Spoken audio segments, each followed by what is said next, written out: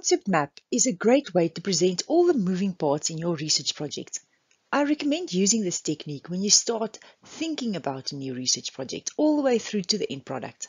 And once you submitted your thesis, dissertation or research article, you can use this technique to plan your next project.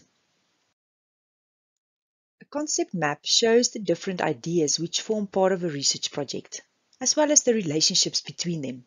A concept map visually presents concepts as shapes, circles, ovals, triangles, or rectangles, and the relationships between those concepts are presented as arrows.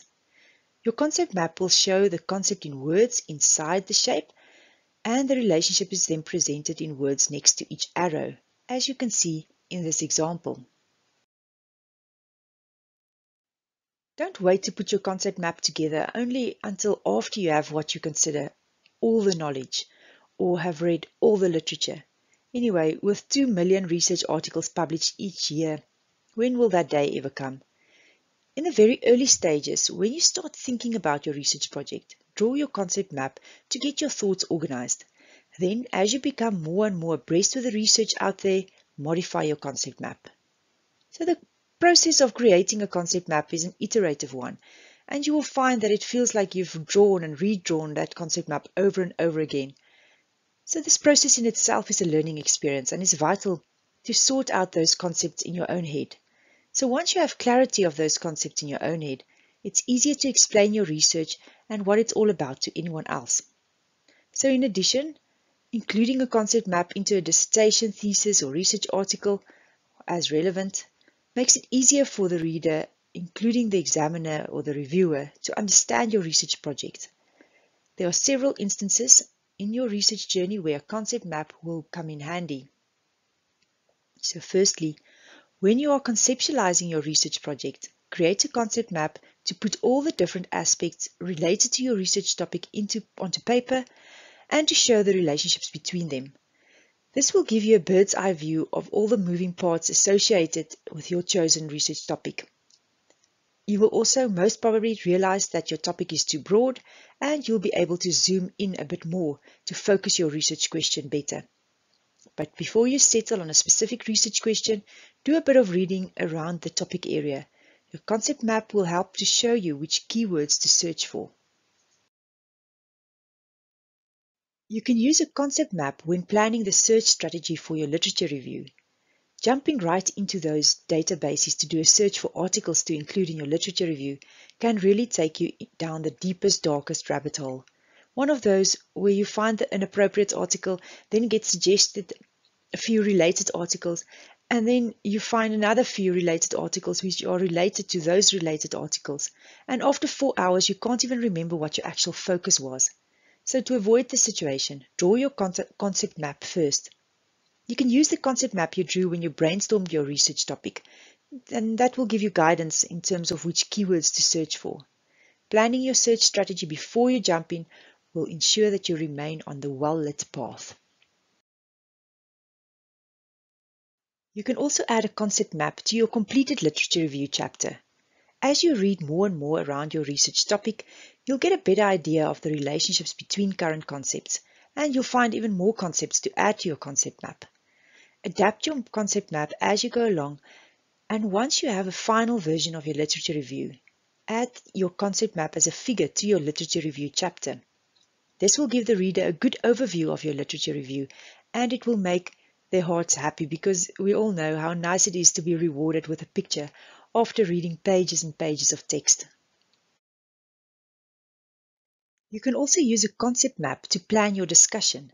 Once you've completed your data analysis and interpretation, developing a concept map for your discussion will give you clarity on what to include in your discussion chapter or section.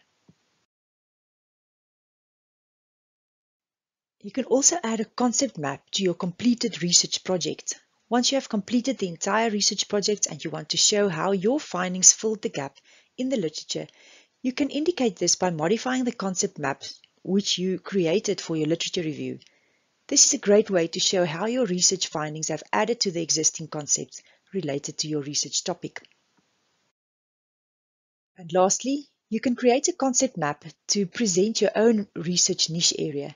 And as you create more knowledge and more research throughout your research career, you can add that to your concept map. Now, I'm sure there are many ways that you use concept maps in your own research. Please tell us how you use concept maps by leaving a comment in the comment box below this video.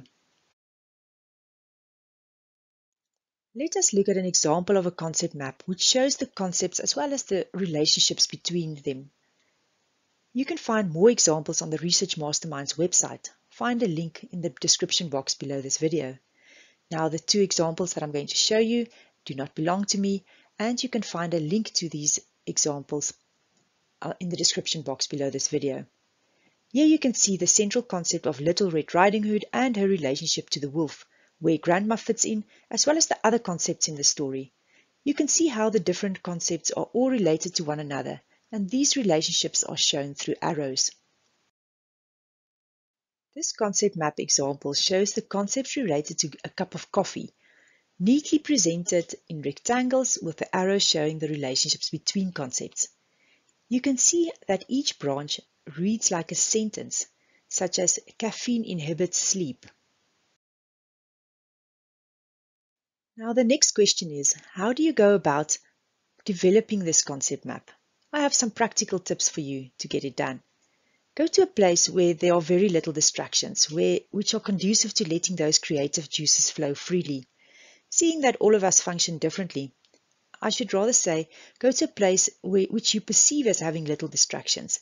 It may be in a park, in your garden, at the restaurant, in the library, or in your own study. Take out a blank piece of paper and start thinking about your research project. Of course, you can do it on a blank page on your laptop as well. One of my students used sticky notes, with each sticky note presenting a concept and with smaller strips of sticky notes showing the relationships between concepts. You can even get all fancy and use your concept mapping software, but as a start, a blank piece of paper is more than enough. Jot down all the ideas that comes to mind while you answer the following questions. What is your research about? Why is your research important? What gap does your research fill? What problem will your research solve? What influences your research outcome? Just jot down all your thoughts. Then, once you have all your thoughts on paper, see if you can identify some relationships between them. What comes before what? What is the consequence of what?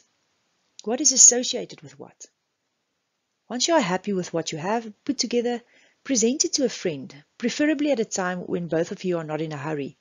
At a bar with loud music may bring about some challenges, and on a first date is not a good idea at all.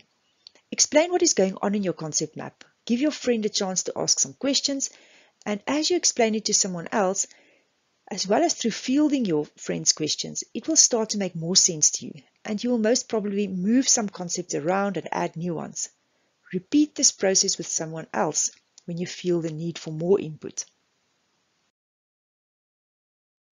Once you are happy with your rough draft, and if you are planning to feature your concept map in your thesis, dissertation, or a research article, now is the time to turn your rough concept map into something more presentable. One can easily get lost when it comes to choosing software to create a concept map. Some of the software out there are paid for, while others give you a free version for some basic concept mapping. Be careful of that software which only gives you access for 30 days. Remember, you are going to change your concept map quite a few times as times go on. If you prefer to use software which you are already familiar with, why not just do it in PowerPoint or Word? Explore a few options and see what works for you. But be careful, this exploration can take you down a four-hour rabbit hole, and when a proposal submission deadline is looming, that rabbit hole is a dark place to be in. Go and have fun creating your concept map for your research project. Enjoy it. If you found this video helpful, smash the like button.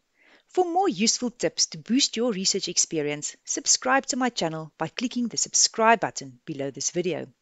And while you're at it, hit the bell so that you get notified whenever I produce a new video. If you need a solution to a challenge not yet covered on my channel, leave a comment in the box below. See you in the next video.